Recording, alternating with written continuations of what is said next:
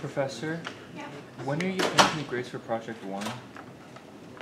Um, hopefully Monday, I'll bring it this week. Okay, thank you. Uh, Professor, Yeah.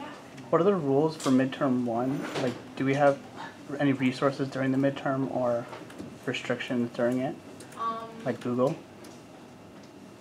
resources, so midterm will be very similar to quizzes. Like the type of question, I'm not gonna ask you to do live coding at all, um, in there. It will be multiple choices, true and false, very similar to your quizzes. Um, everything will be from the slides, so nothing from the textbook, nothing from like out of the, what I already talked about. Um, that's about it, open note, open slides, open, not open internet though, not open ChatGPT.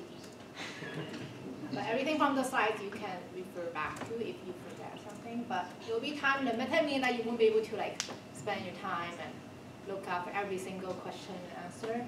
If you like all of a sudden forget something, you can always refer back to the slides. But that's gonna be midterm. Um, we'll talk about, I think during the midterm, there will be, there will be like, during the midterm, there will be, um, but before the midterm, there will be, uh, class. So we will talk about the class, and then when we finish that, we'll start the midterm altogether. And I'll release it here, so you will be able to either use your laptop or computer here, you can log in. I'll be here if you have any trouble logging in. It's time limited. So that's midterm. Uh, but I don't think midterm will be a couple more weeks. It'll be week nine, I think. According to this, it's It March next week. Wait, really? Yeah. Oh. Yeah, March nine. Is it week nine already? Oh, you're right. It's week nine? Uh, okay. No, Oh, yeah, you're right, is we finished eight. everything before classes. So classes starts second half. You're right, yes, yes. Good call. But yeah, I will post an announcement of like how much time I'm gonna give you, how many questions and on Canvas. Um, and then, yeah, we will talk about, uh, classes one, which will not be in midterm. So everything up to today, and we're gonna talk about templates and then, and then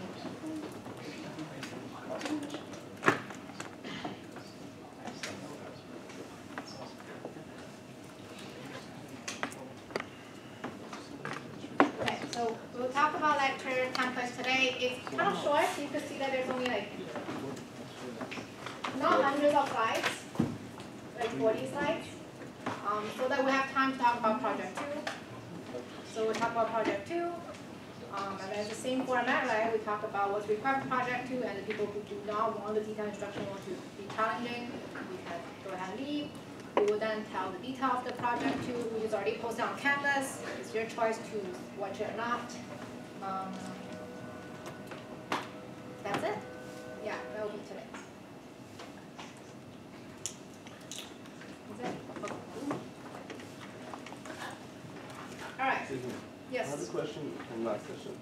Uh, from the last. Yeah, but I can just, uh, you don't need to. like, Oh, oh, Uh, just for the pass by corner for the function.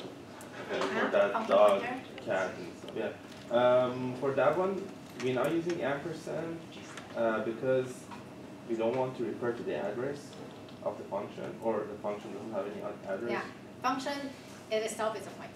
So function is different than variable, where variable has a place to store it. Function is part of your program. That it goes to, to run it. So it's- not, it's not like in the memory you save a value of five or three or two, it's not like that. Functions is different. So we're not using ampersand for that. Now, because ampersand is where you go to the address and grab the value. There's no value for functions, there's only where that function, that part of code is stored, which is in the compilable image. They're completely different things, yeah. The coding won't work if you add an ampersand. Yeah, because there's no address, right? It's inside your compilable, it's your, it's part of your code, right? You write a function, you call that, and that function exists in your code. So it will go to that part of code and run that part of your code. Which is different than you go to memory, you find the address, get the value, that's different. And does it have address or not, like? Only memory it's says address, because that is how your computer know where to find Where to those. find those. Yeah, but for your, uh, for your, Function, it goes Yeah. inside the function. that's right. Thanks. Alright. Um, let's do a short review.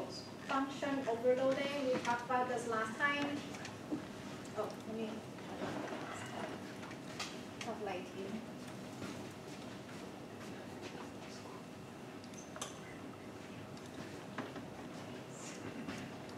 Function overloading, where you can trigger the function with different types of parameter, or you have function with different numbers of parameter, they can share the same name, right? So we talked about this example where there's a sum that you can sum of integer, you can sum of double, you can sum of float. And where you, when you trigger it, you trigger it with integer or float or double or float, right? As simple as that. So your computer, your compiler can refer and be like, oh, okay, this is the function you're triggering. However, for this example, the contents of the function are exactly the same. So what you are doing is basically copying and pasting your code at different places or duplicating your code at different places, right? We do not like that because we want to have what we call dry code. Dry stands for do not repeat yourself. Um, this is also a very good practice for uh, programmers where you, you, you want to avoid writing duplicated codes. You want to use templating when it's possible, so we're going to show you when you can use templating. Templates are what you use as a placeholder for types and types only. So you can only template types. And the way that we template, because we have placeholder for types, meaning that you need to have the following three, which is functions have the same number of parameters, function have the same code, and function have the same type pattern. What does that mean? So look at our example. All of our functions sum have same number of parameters too, right? They have two parameters, all of them do. They share the same code block, exactly the same, right? And they have the same type pattern, meaning that if you want to have a template for int, you have int, int, and int. If you have the template, if be double, you have double, double, double, and if you have the template to be float, you have float, float, float. That is what we call template. Because the way you do templating is by replacing it with T or a letter. We normally use single letter, we normally use capitalized letter. The way that you tell your compiler that this is a placeholder is just at the beginning of your functions, you do template type name T. You can also do template class T equivalent, complete equivalent. We're, we haven't talked about classes yet. We'll talk about it after midterm.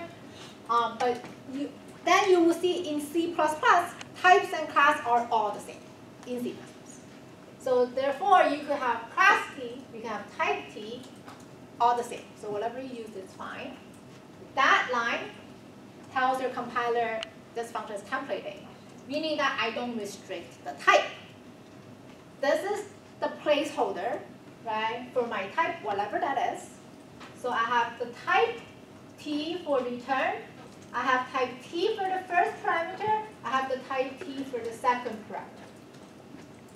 Okay, so that is a templated function. When you call this function, you do it exactly the same. You do sum 10 and 5. Your compiler will know, oh, we're calling a function sum with an integer and an integer. It will first, so before it goes that, it will first try to find whether you have a definition of a function sum that takes two integers. And we don't, right? We don't, we don't have that. Then it will try to see whether they can have a templated function of type t equivalent to it. So if we do that, let's see whether it works. It will try to generate this piece of code in your compilable image when it's compiled. So it will try to generate that and be like, okay, so if t is integer, meaning that this part is equivalent to this, right? So replace t with n, we get this. Now, we call sum 10 and 5 to this function. Will that work? Yes, it will work.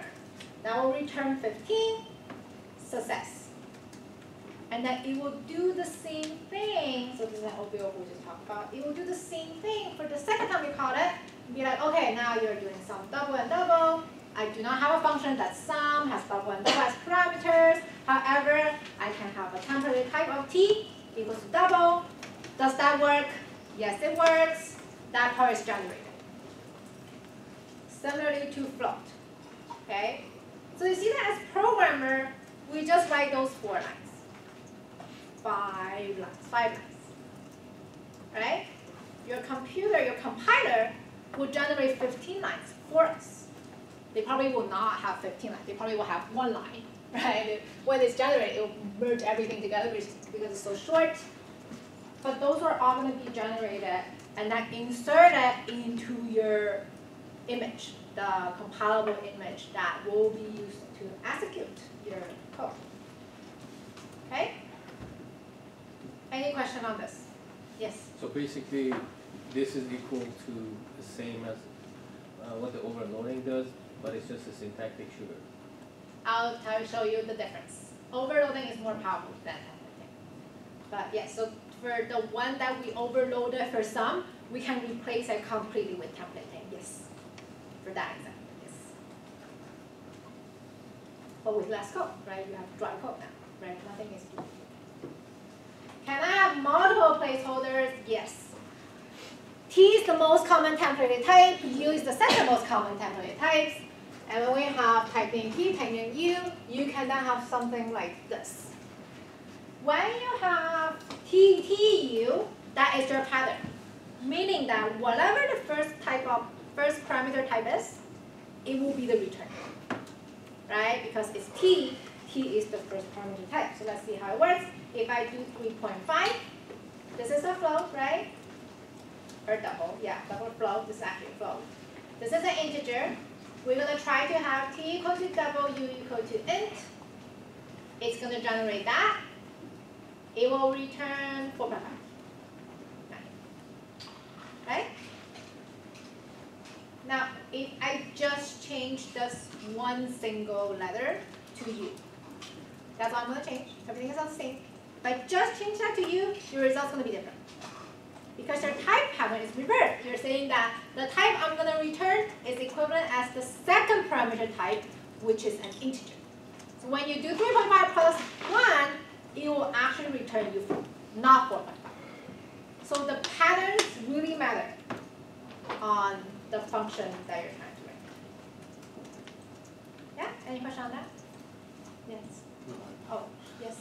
Can we restrict it, um, this, the template that you actually uh, implemented, can we restrict it to not to accept a, a certain type? or not accept certain type, you cannot. As long as the type pattern is the same, the yeah, the type pattern is the same, it will go through. So what if we actually, so the first parameter is of type of integer and the second is string, Then it will try to return a string and give you a, give you an arrow. an error? Actually, yeah, because you're basically the error will be, however, that you're trying to add a number and a string. It will not be like you have a wrong templated function. You don't. It's just that in, impl- in, your implementation inside like line seven is not compatible with the function call. So it's no different than you implement a function and you're not calling it correctly. So it's no different than that. So it's, uh, the coder's responsibility to actually be careful. Yes, yes, the programmer is the one who controls it. That's right. So one thing, oh yes. What if you have the same example where you pass an int and a double, but instead of having just, uh, instead of having both type name t and type name u, you only have one? Like for example, just type name t, does it throw an error? Wait, say that again, so I have type T and U, what, what, what, you- Well, so like, in, in this example, you have type t and u, but what if you only had type t and you used type t the whole way through, but you had in your, um, parameters, um, uh, an int and a double? And would that result in an error? No, we won't, right? It's the same as the previous example. It, it still just give you an int? Sorry, I'm confused. So are you talking about something like this? This? Where you have just one type? T? No, if you put two types in the parameter for when you call the function, so like Mhm. sum int and float. Oh, you cast it into int, you don't do T and U? Yeah, it will just give you four. No, So- no, no, no, I'm saying, so for example, like sum ten point two comma five, but both of my, that, that's a float and an int, but both of my type names are T, so it's, I only have one letter per type name? Oh, that it will be function undefined. Okay. because you couldn't find it, right? Um, so one thing that will, which I was gonna talk about, is that even though when you have, so if you have T and U, right? And then if you have A plus B, does not mean that T and U have to be different. So you can have int, int, int, that will still run, right? So if I have string, string, string, that will still run. But if you have, let's see, what will not run? Um, yeah, I think the example, that string int, right, that, that will work. Um, so T and U saying that they can be different, and then the return type match the second one, that's it. That's all that is saying. It doesn't say that they have to be different, or does have to be integer, no, nothing like that. Okay? Alright. Now we talked about just using template type, how about we mix it?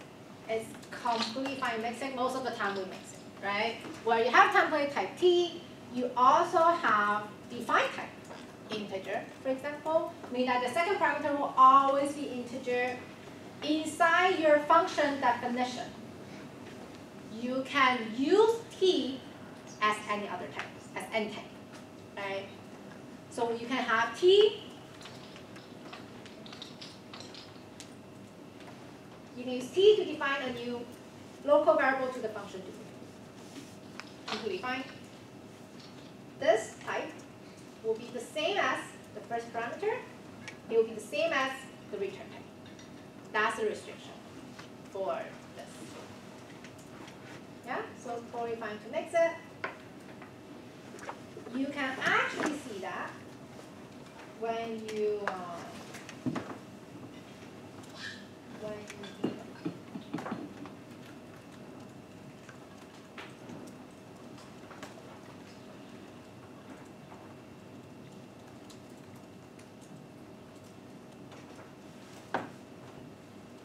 Okay, so this is our function.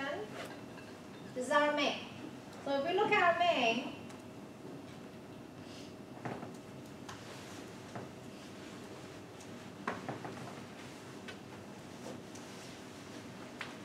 calling duplicate three times with three different texts. We have a string, we have an integer, we have a double. We're calling a string, integer, and a double. Right? For this duplicate. The second parameter always an integer, so we're just gonna put three there.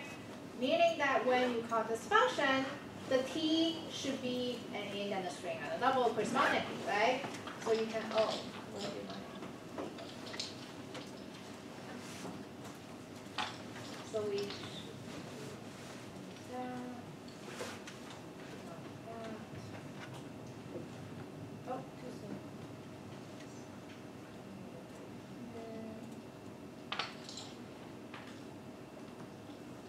Alright, so we're here where we have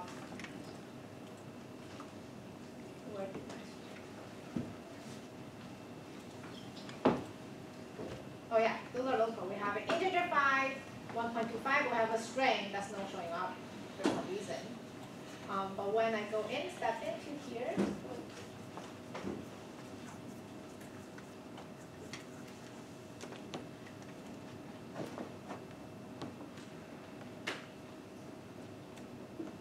why doesn't the type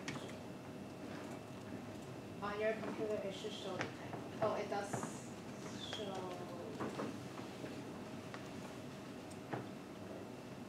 this.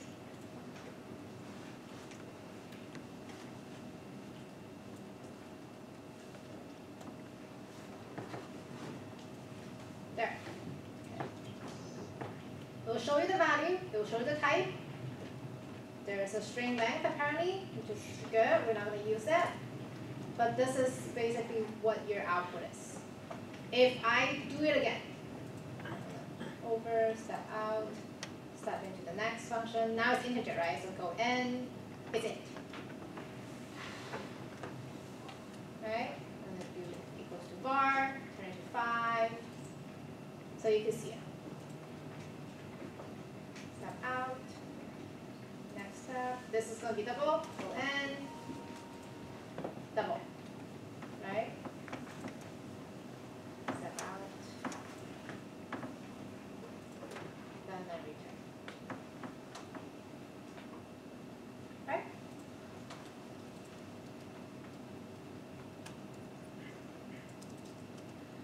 Alright, type casting.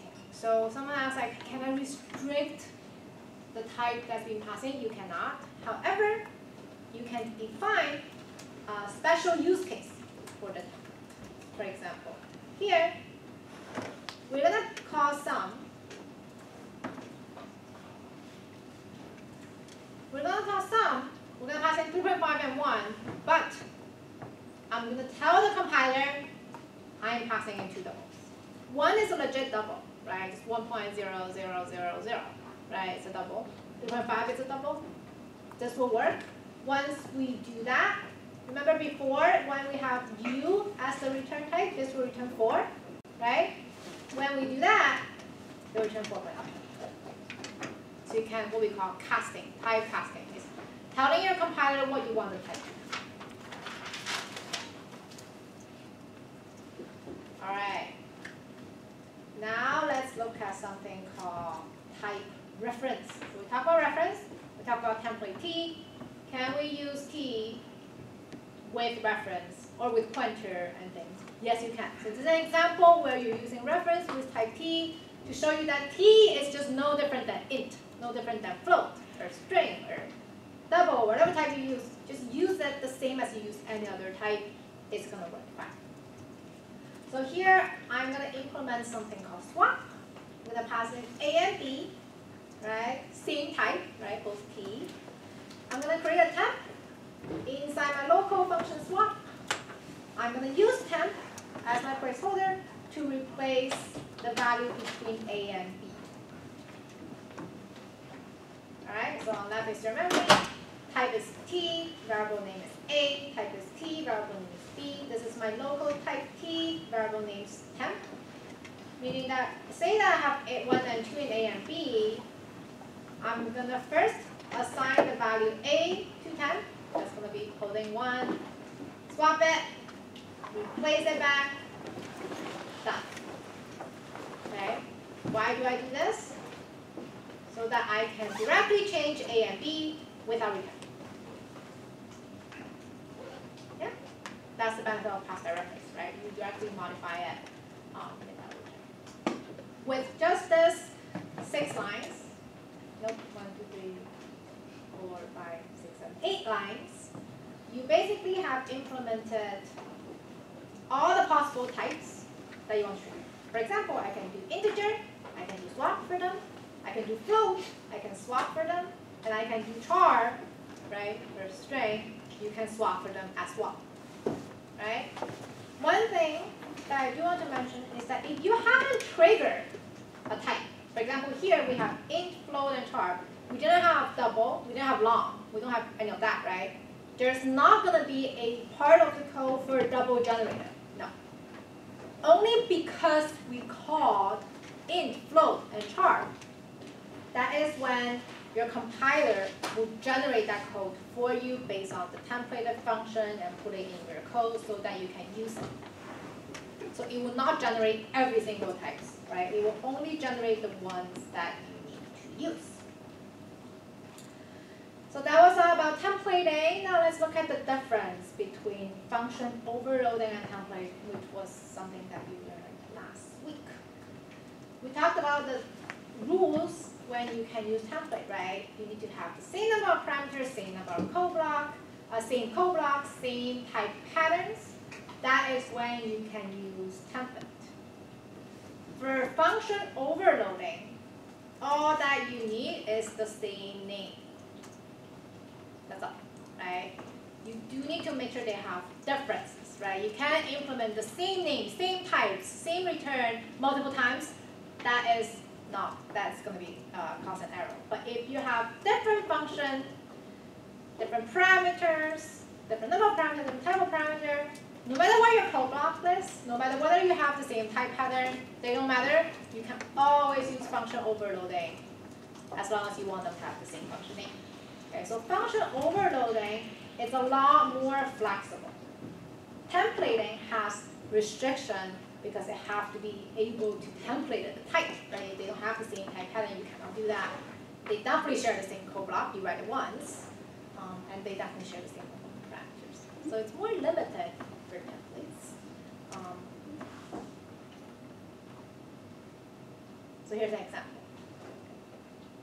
Say that I have the same number of parameter, same type pattern, but when I am adding two strings together, I want a space. Most of this, you look like they'd like, okay, I can tap like this. The minute you look at implementation, you cannot. Right? And most of the function overloading do not share the same code block. They have very different code blocks. Okay? Most of the functions that share the same code blocks, they most likely have the same type pattern as well. So when you're looking at a function, if their implementation are exactly the same, you probably want to think about templating first, right? Like, oh, like this looks like something I can template out. If you don't have the same code blocks, it's out of the question. Like, there's no way you can template this because they're not the same function. Yeah. Any question? All right. We're done with templating. Okay, so that was all about templates. Now, I do want to share with you something that C++ is really good at, in addition to C, is providing you this very rich standard template library. A lot of the things in there are templated so that you can use it for whatever types you want. Inside the STL, standard template library, in C++, there are four main categories of functions as defined. Functions and library that are defined for you.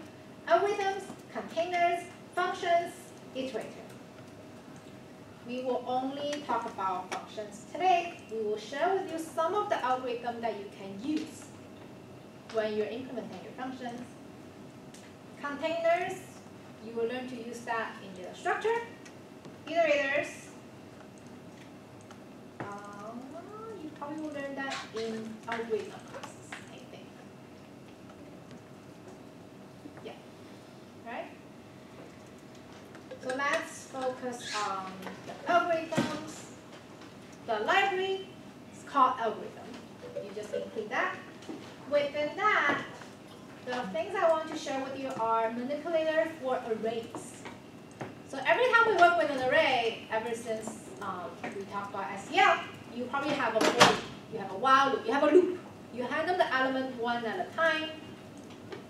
When you input, when you include algorithm library, you don't really need to do that. A lot of the functionality to work with array um, is already provided in the algorithm library. Very useful one for this one is sorting, right? When you want to sort an array, or when you want to sort a portion of an array, you can do that using sort. So these are example of how you can use sort, where I have an array, okay? And I get the size, where we talk about how to get the size. Um, when you do sort, you pass in the front of array, you passing the end, the front of the sort, the end of the sort. For me, this is the head of the array, which is pointing at one.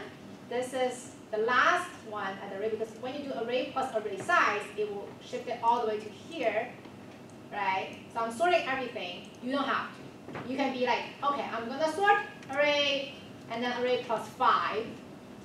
Then it will sort one, two, three, four, five. It will just sort this portion.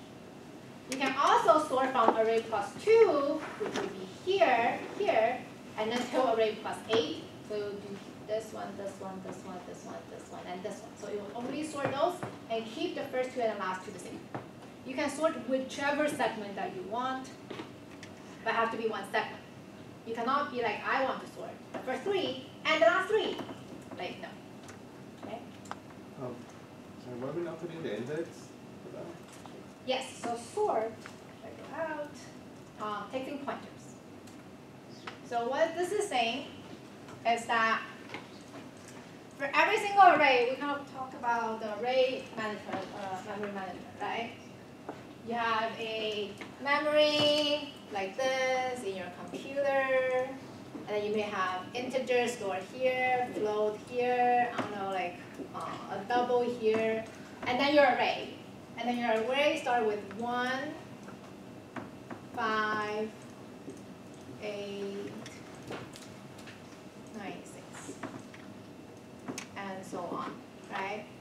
So for every single array, it actually is a pointer pointing to, is it AR? Yes, pointing to what we call the head of an array. If you say plus five, it's gonna shift this pointer to one, two, three, four, five. That's what you pass it. So that's why the plus here, whatever that goes, here, plus. Okay? So that's what the sort is thinking. Everything in the algorithm is probably doing pointers, um, the most part. If you say, oh, I want array zero, um, let's see, over here, array zero. This is one single value. That be one. How do you sort a number? Right? If you think I'm gonna sort array one and array zero, one, two, three, four, array four, right? That's another value. It says nothing about what's in between. Like you would think that, hey, I'm telling you array zero and telling you array four, you should figure it out. It cannot. It really cannot. Right? It really need to work on the pointer so you know that, oh, this is the starting point. Plus five is here, is the ending point. I'm sorting everything from array, array plus one, array plus two, array plus three, four, and five. This is one single value. It's not going to be helpful. We're segmenting.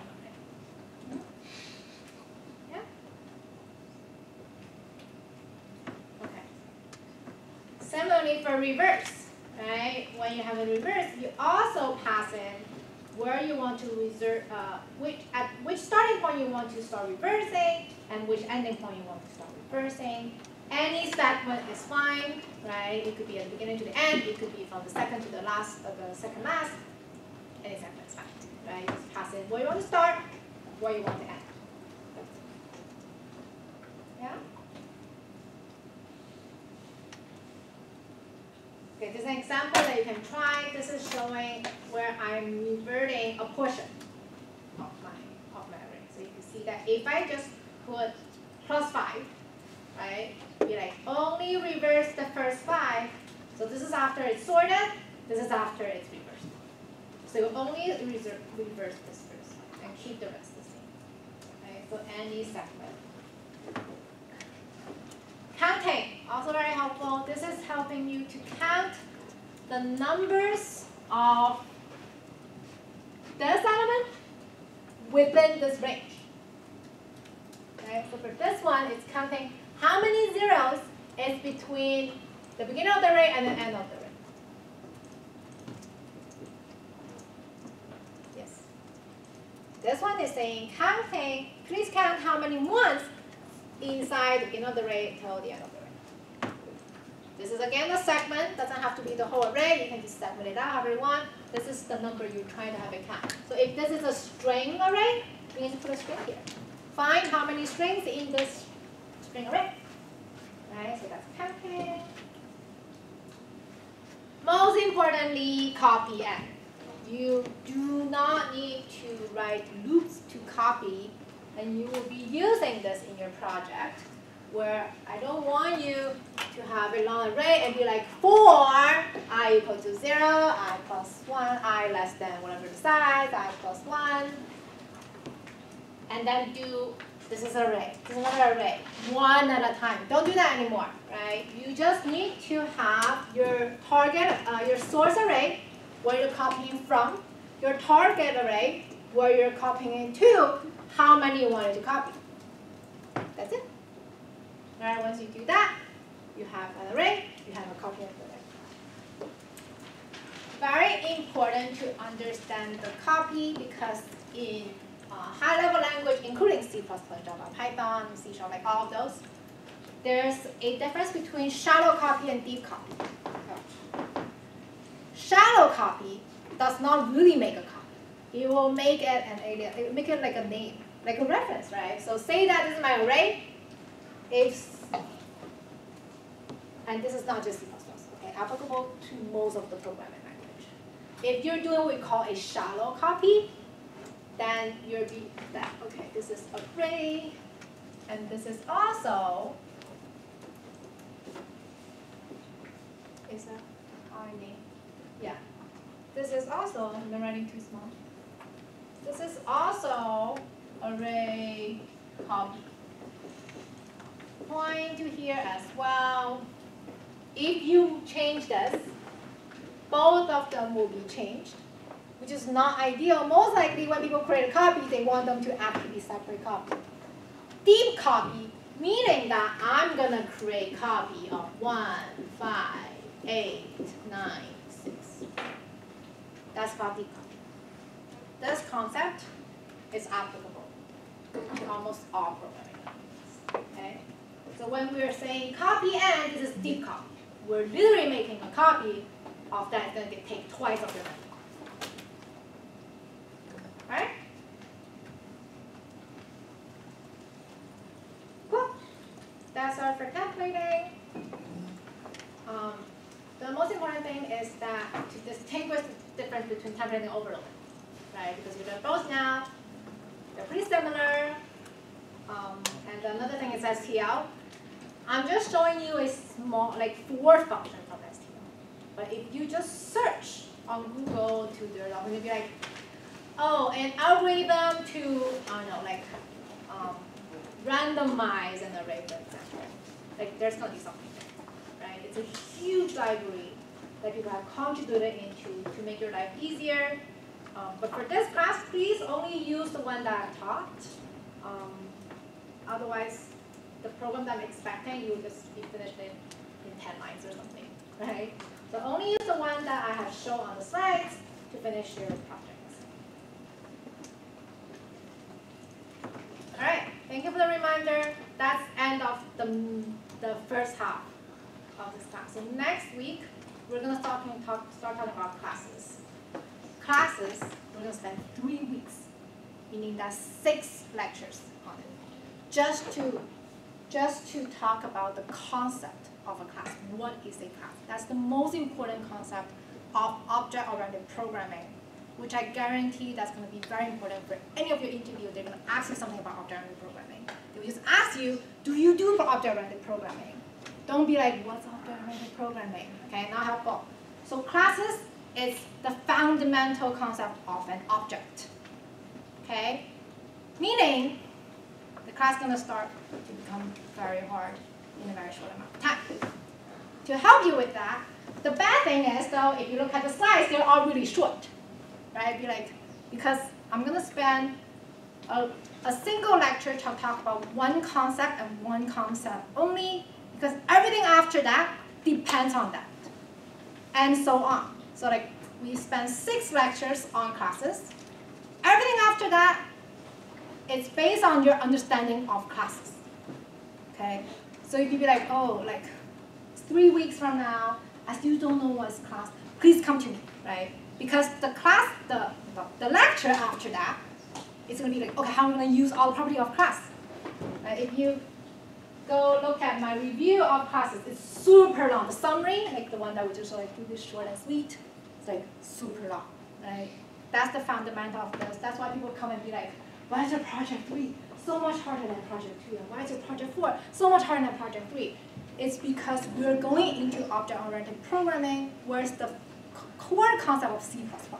Everything till now, even templating, it's pretty generic, right? Like you have templating for other programming languages as well. You have functions, you have use in C. Classes is what enables C++ to be C++, to be something that's so powerful. So yeah, so you will see starting from classes, every time I talk about new concept, I'll do a review, right? I'll spend like a lot of time doing like, previously, from last week, we talked about this, right? And then I'll talk about new concept because they're closely related. You have to understand that before you advance into the next one. And my talking speed will also slow down, okay? You will see that. Because I will ask repeatedly, does that make sense? Does that make sense? Before we get to that, hope you enjoy the first half. Let's have a fun project uh, to conclude the first half of the semester. So this one I'm going to ask you to implement is a uh, data processing system. So the background story is here. We're going to base on this animated character called D.Va, and we're going to play this game. If I can. Oh, I can.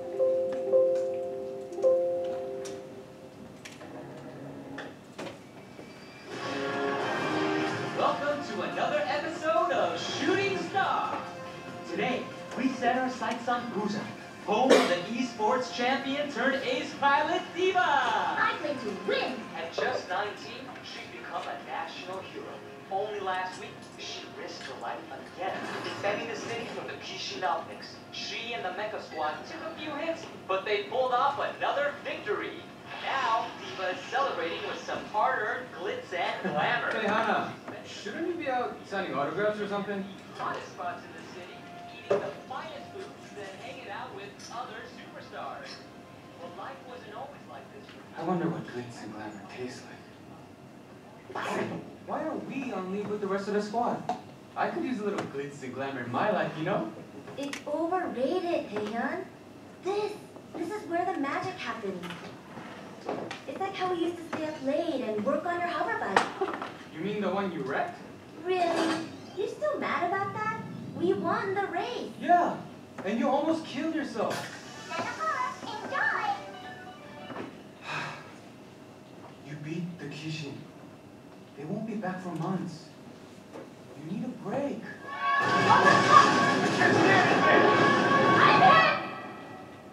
I, I can't. Uh, Hana? We barely won last time. The enemy is out there, adapting and getting stronger. The rest of the squad, the country, they're all counting on me. If I make a mistake and the Gwishin get through us, we lose. Everything. I... I need to finish the task.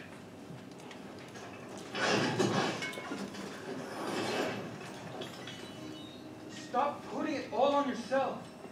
It's okay to ask for help. I've got this. Really.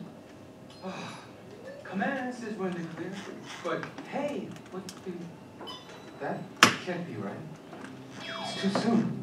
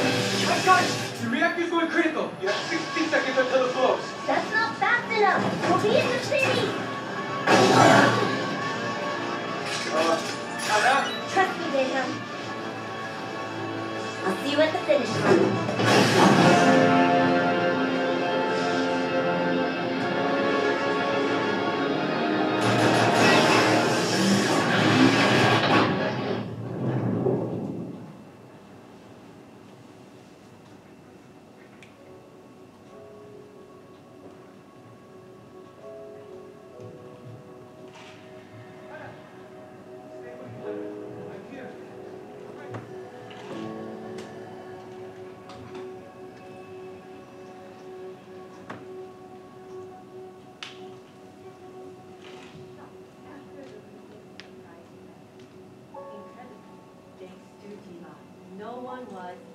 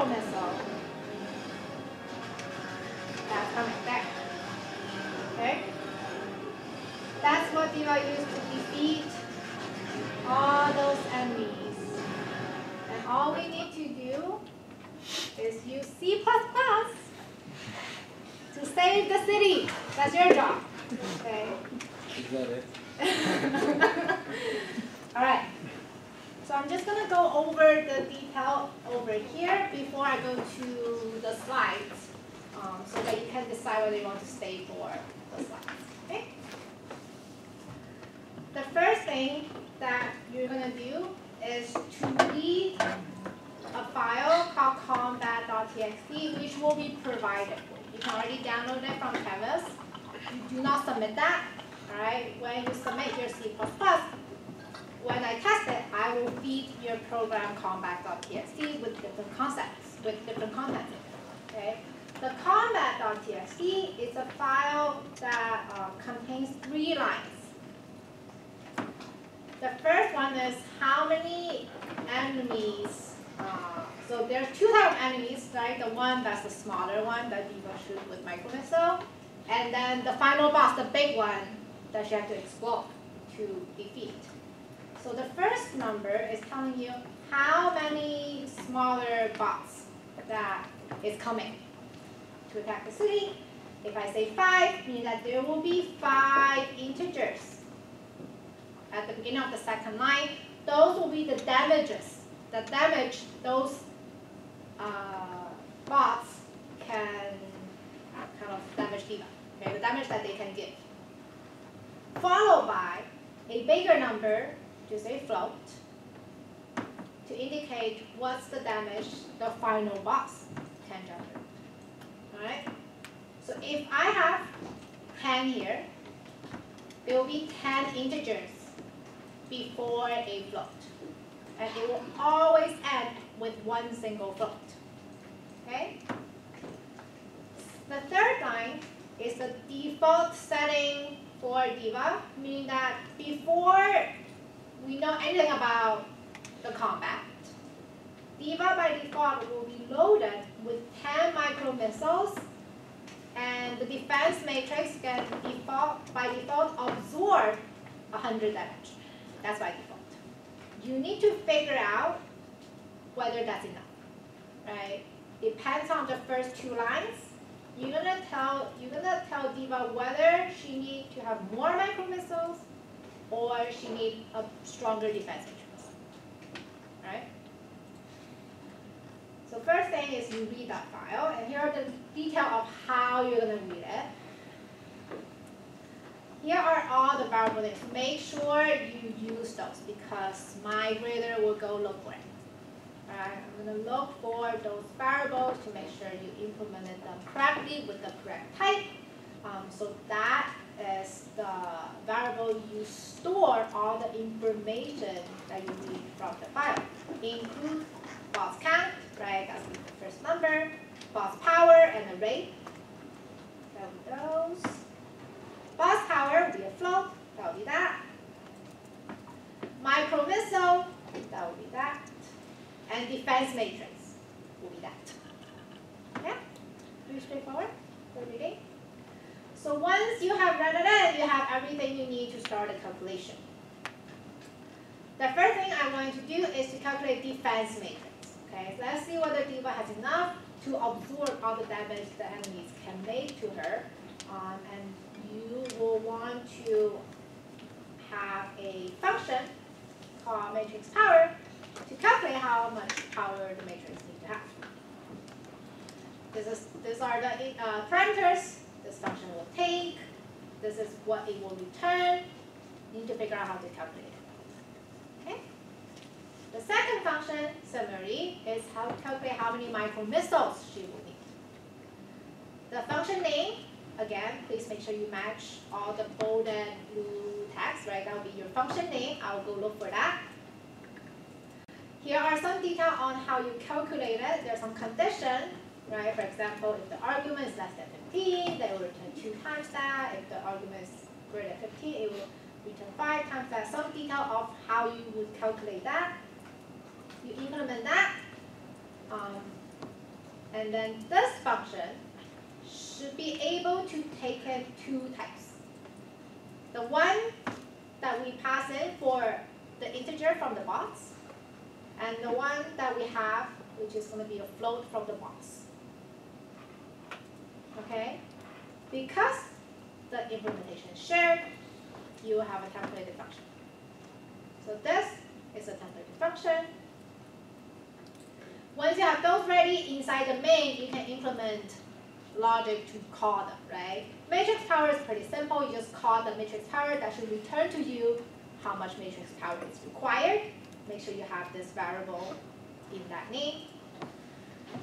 Now you also need to calculate the missile power. That's a little bit different than the matrix power, you just call a function, um, because you need to have a loop to calculate the power needed for every single bot and also the box.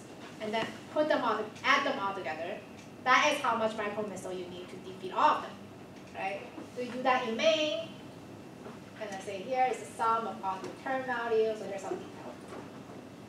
Example of how that would be calculated.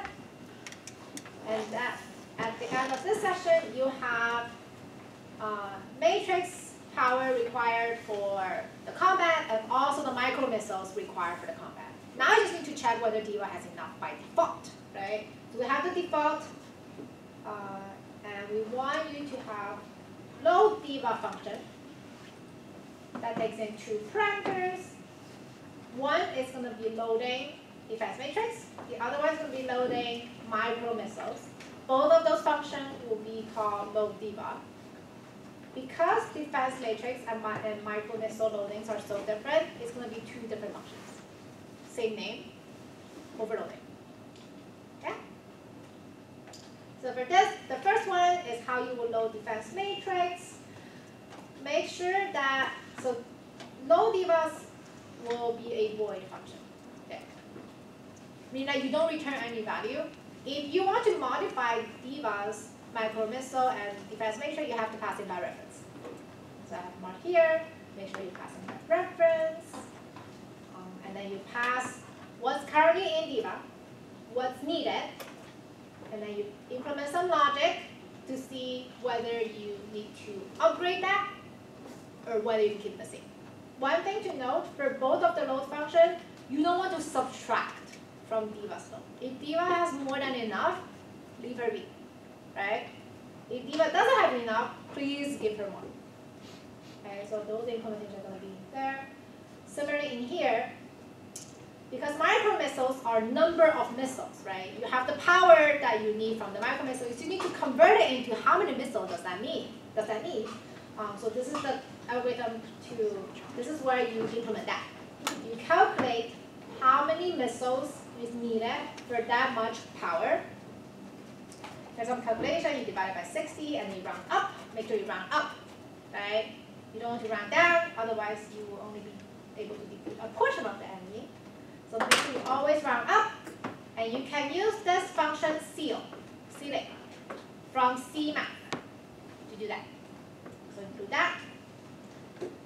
And then you load it. Make sure both of the functions have passed by reference only for the ones that's needed. Don't just be like, oh, pass by reference. I want to pass everything by reference. Don't do that. And only pass the one needed. Um, after that, load diva function, you just trigger it. Also pretty straightforward. Report. After you have everything you need, you're gonna write generate a report to tell diva that she's ready. Start with the header, diva's combat report. Combat with this is a variable that you read. It could be 5, it could be 8, it could be 10, depends on the combat.txt I passed to your program. Power, again, read from the file, depends on what that power is. And here is your calculated result. So I want D.Va to be loaded with, if you have, if 10 is not enough, this would be probably like 15 or 12 or 18. This should never be something less than 10. Alright, similarly down here, this should only be a number that's greater than 100. That's the default. We don't want to subtract from it, so this number should never be smaller than 100. Okay? And then we're ready for combat. Do not need to submit your report.txt. Because I'll be fitting your program with different combat.txt, those will be generated um, when I grade. Okay? So you just need to submit one single C++ file. Make sure you only use what's been covered so far. Okay, use functions, use template function, overloading function. Don't use anything I have not covered yet. My grader will not pick those up. Okay? Alright. I'm gonna start going through the slides now. So if you feel comfortable starting this, I'll see you next week. We'll start class next week first, and then we'll go into intern.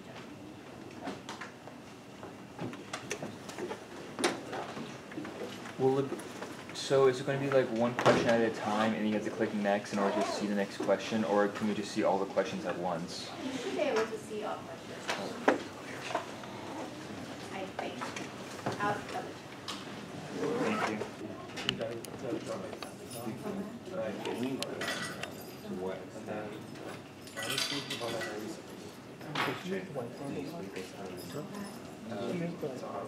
No, just a little bit.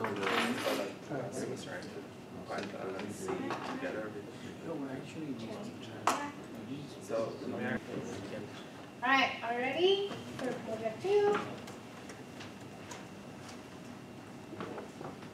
What are we going to be using? We're gonna be using file reading and writing, right? fstream that we talked about two weeks ago. Functions, we're gonna pass by value, pass by reference. We're gonna use function overloading and also function templating. Okay, those are all the things that we're gonna be using for this project. The first thing you're gonna read from file, right? That's the example of the file. We see that this is already a different example than the one I have on the project assignment. Like I will give you different files for you to read. Um, make sure that you read, don't try to read them all at the same time, not necessary, right? Like because you have a file, it's persistent, you can read the first line, do something in your code. Read the second line, do something in your code. Read the third line, completely fine. You don't have to be like, oh, I have to read everything in at the same time. You actually will not be able to. And I designed it this way so that you have to take a break. So the way that this happens is that you read the first line, which tell you the number of blocks. Oh, okay, so before we go there, make sure you check file open. All right, very important. A lot of people lost like, just a couple points just because of this. Make sure you check file open. Um, the ways that you read this is that you read the first one, right? You use that to create an array first. When you create an array, I'm going to create with a size. That size is from line one. So you create an array, you initialize that array to be like a variable, and then you read the second line, the first portion of the second line, read, uh, write that into the array, and then you read the flow. Right? You see that it's all step by step by step. You don't read them all at once. You read the first one, you then go to your program, you go, okay, I'm gonna use this number, create an array of this name. Then you call read it again. This time you read. You have the number you got from first line telling you exactly how many times you're gonna see in an integer. Use that. Okay? Use that and be like, oh, it's five, I'm gonna have a loop. And here I tell you to write a for loop, but you can do whatever loop you want. Exactly that many number of times. For this one is five. So your for loop or while loop will run five times and will read integers five times. Okay? And you save all those numbers inside your array. Once you finish initializing your array that way, then you create another variable that's a float, and then you read this last number. Okay? When you're done with that, you create two more variables, right? One is micro missile, you read the first one in. One is defense matrix, you read the second one. Okay? Step by step. Don't try to read them all together. Some detail that some of your compiler may complain saying that, oh, you have this variable that you use to, in, to initialize your array. We don't like that. You can ignore it. It's a warning. It's not going to error out. You can still run your code. It may or may not appear. Depends on your compiler. My compiler does not complain. Thank you. Guys, but I've seen people came to me and be like, oh, I have this warning. It's okay. Right? Warning is fine. You're going to be able to run. And here's an example of what I mean by taking step by step. Create a variable, read it. Create another variable, read the following.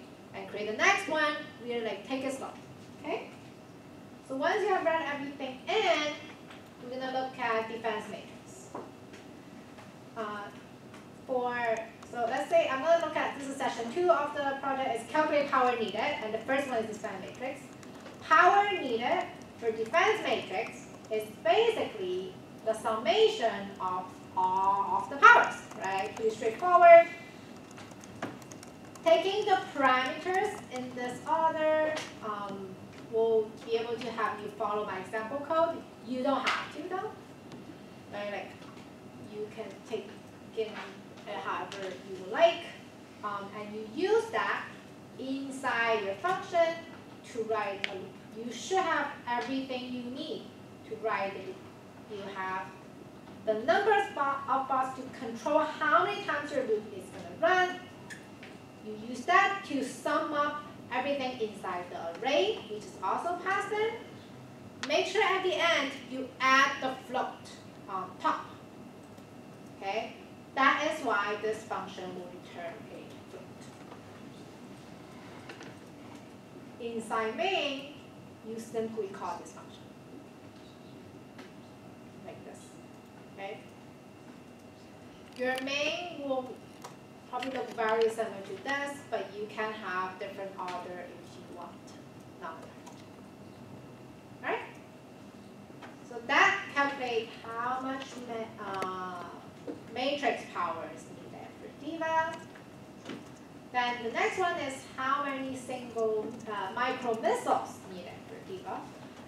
The function that you need to, do, uh, to use is this templated function of single missile power that will take in one integer. It could be either an, uh, one parameter, it could be either an integer or a float. Alright? So you take that of template type T or U, whatever you want to name that, check the parameter value, and then you see what there's the detail of the calculation is in the um, in the description. You calculate the return value based on the condition and return it directly. Because of the templated function, make sure you have the right type pattern where the return type is the same as parameter type. So if you have the parameter type t, you should have the return type t. Okay? Once you have that, you use that to calculate one enemy at a time. So over here, because we have multiple bots, and you see that here I am putting in one single index, is that because it's going to take one number at a time, I'm going to have a loop to loop through my array of the bot's power, and then call this function over and over again inside loop. Yeah? Once you have that, you sum them up, and that value, you can store it in missile power required. Make sure at the end, you also pass in the boss power, which is a. If you have this templated correctly, this will return a float as well. If you don't have the correct type templates, you may miss it by a decimal point.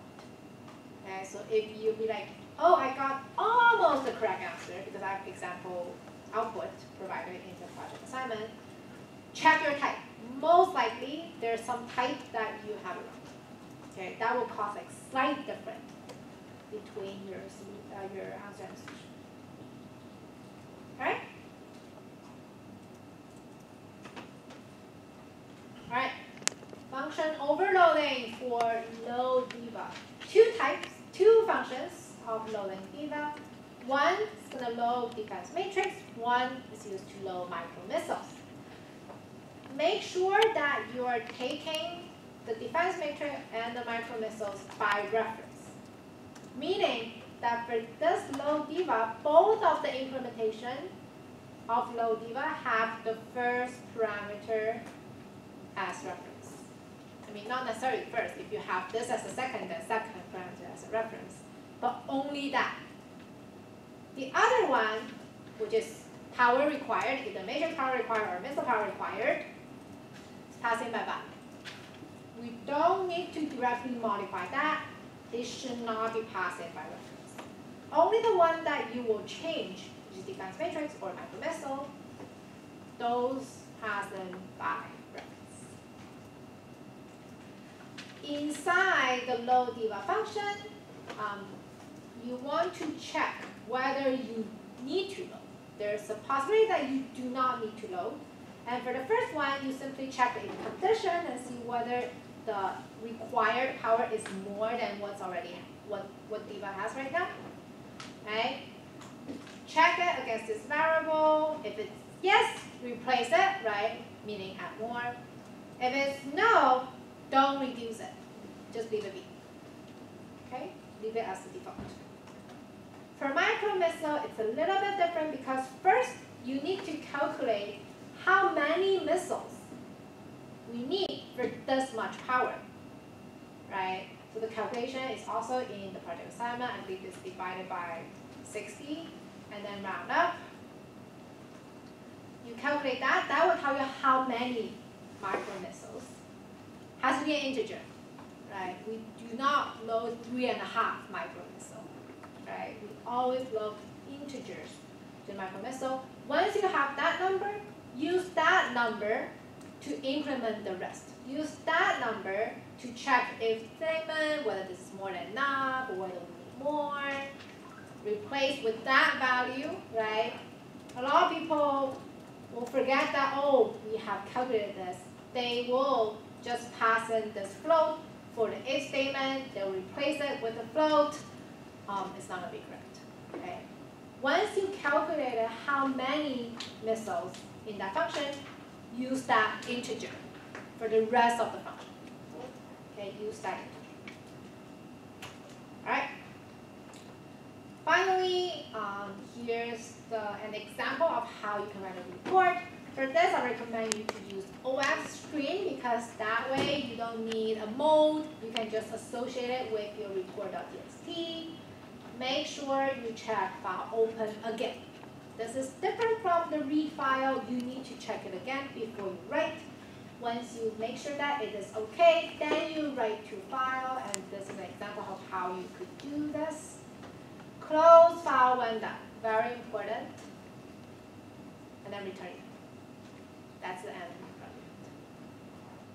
Right? Any questions?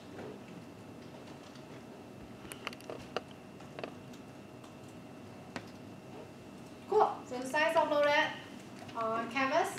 Feel free to download it. Um, you can see that I try to give a lot of detail about how to implement it. Does not mean that you cannot do otherwise, right? When I say for loop, it's just because I really like for loop. You don't have to. If you like while loop, use while loop. All that you need to keep consistent are the variable names, the function names, because that is what I'm going to be looking for. As long as you calculate them correctly, you're fine.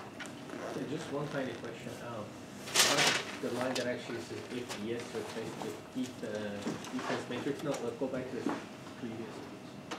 Go back. Yeah, to the previous page where you where you were actually uh, Where? uh if you, yeah. Oh, yes, yes. Right, so, um, for the, for the line that says if yes, replace, um, if, check to see whether the power required is more, more on defense matrix.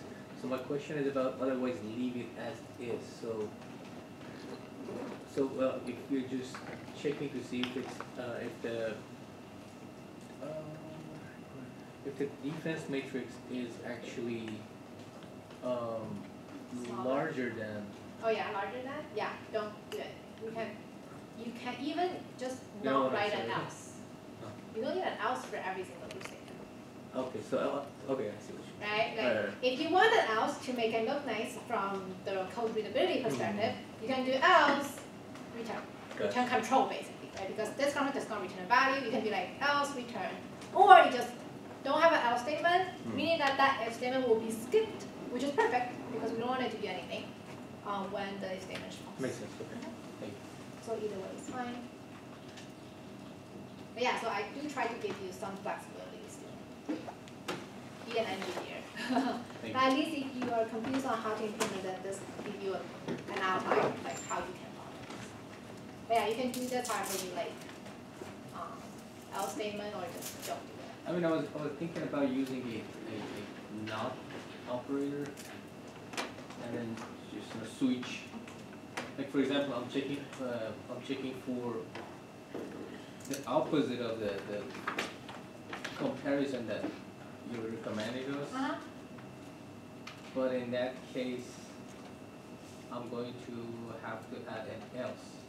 So, Yeah, don't do the, the, you don't need a not if it's greater than or smaller than question, right? Mm. Greater than, the not greater is smaller than, Yeah, smaller than, you're, yeah. you're, So don't do. I'm overthinking. Don't do the, yeah, don't do the not smaller than, your style decrease with the duty, decrease the mechanical duty, like make it more complicated than it needs to. So we wanted to we want to keep it simple. Thank you. Alright? Um, now we are, do we have a quiz here?